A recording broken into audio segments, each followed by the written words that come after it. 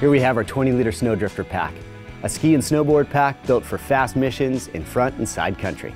The pack opens via long clamshell style zipper. On the inside, you've got individual sleeves to hold your snow safety tools in place, as well as a water hydration bladder.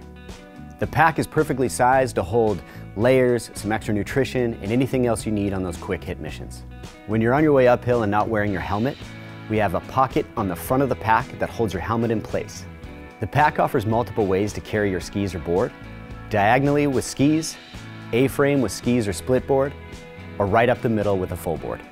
The back panel has snow shedding mesh, the shoulder straps are padded, and have an insulated hydration sleeve too. The overall design of the pack is kept long and lean to stay with all the weight on your lumbar. This, along with our extra wide hip belts, keeps the pack in place for all day comfort. The hip belt also has two zippered pockets to keep your small items organized. The pack is built using 100% recycled fabrics, using a burly 420 denier nylon Cordura. Our 20 liter Snowdrifter pack is perfectly sized to carry all the essentials you need for the quick strike missions in the backcountry.